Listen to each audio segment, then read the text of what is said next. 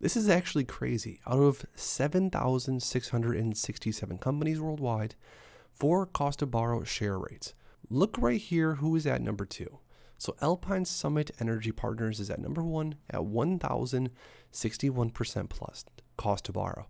And AMC Entertainment is shortly behind at number two at 977.39%.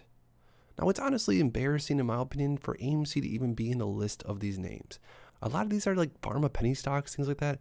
AMC is a real company and a brand, that brand that millions love. But if this doesn't tell us all that something could be right around the corner, I don't know what does. AMC this next week is going to be wild because of the following.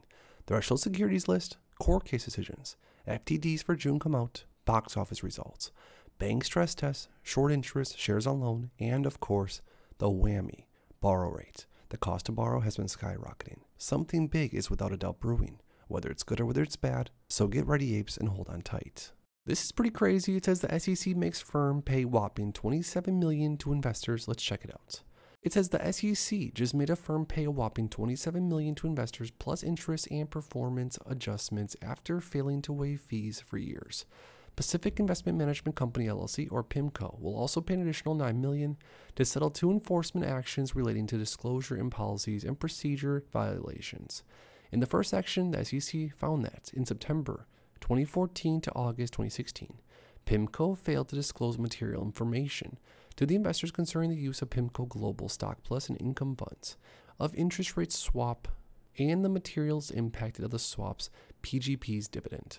Now, in the second action, the SEC found that from April 2011 till November 2017, PIMCO failed to waive approximately 27 million of advisory fees, as required by its agreement with PIMCO all assets Additionally to that, until at least 2018, PIMCO did not have adequate written policies and procedures concerning its oversight and advisory fee calculations and related fee waivers in the SEC press release read.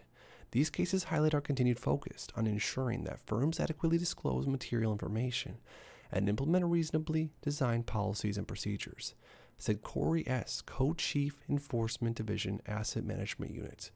PIMCO failed to comply with both of these critical obligations, and they are now being fined because of it. Do you think the SEC, Gary Gensler, is going to start cracking down more from now until the end of this year?